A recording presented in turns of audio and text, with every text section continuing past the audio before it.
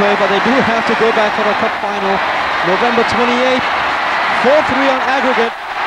And they certainly did that just that. The Lion really chewing up the crocodiles this evening. And a famous salute. What a way to end the season at the National Stadium. It's their last match this season here. And they end it on a winning note, qualifying for the final. Abbas Saad giving Singapore a first half lead in the 28th minute. Sundramoorthy with a killer goal in the 65th.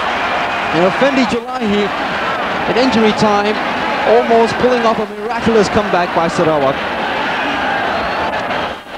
Yes, the players are celebrating there. They uh, uh, they made it unnecessarily tense at the finish there. It put everyone's hearts in their mouths. But a good performance.